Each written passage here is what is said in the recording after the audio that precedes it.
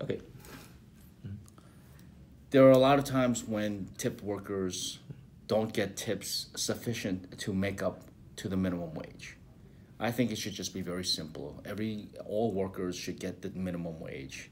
Minimum wage is already at the very low end, the bottom end of workers in our economy. So why not make it? I mean, why make it complicated? Let's just keep it simple. All workers get the minimum wage.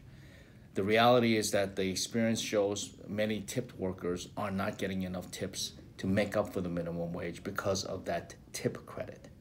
Therefore, I think we should just eliminate it. And plus, it's a huge hassle, a hassle for employers to keep track of tips and which which workers are supposed to get the tips, how much in tips they got, and a lot of people don't realize this, but workers also, I mean, uh, the companies, employers also need to keep track of how much of the time the worker is working mm-hmm. is actually being spent on work that is not subject to tips.